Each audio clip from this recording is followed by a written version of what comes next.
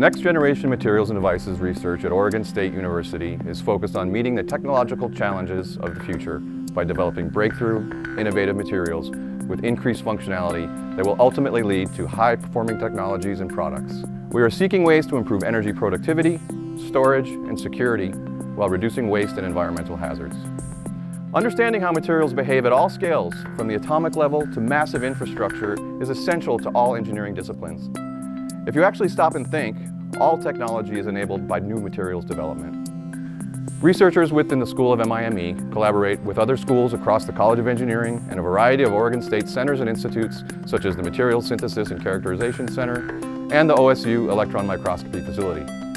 In addition, we work with a wide variety of industry and government partners to find new solutions and new opportunities.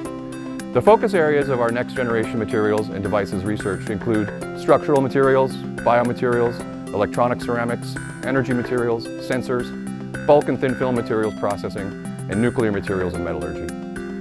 The impact of our discoveries is far-reaching and will enable new possibilities for a safer, healthier, more resilient, and more sustainable world.